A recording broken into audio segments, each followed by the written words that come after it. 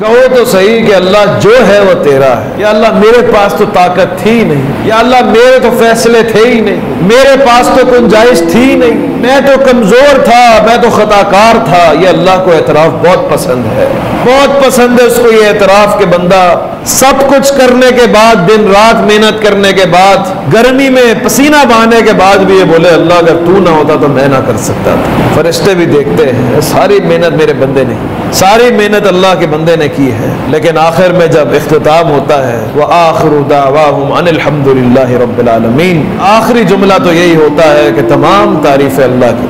मैं शरीक नहीं हूँ, तारीफों में। नेम तो बढ़ जाएँगी। शुक्र ये नहीं है सिर्फ़ के जबान से शुक्र अदा कर रहे हो, ये बोलो कि तुम कुछ नहीं हो, उसने सब कुछ किया है। उसने सब कुछ दिया है। हिदायत?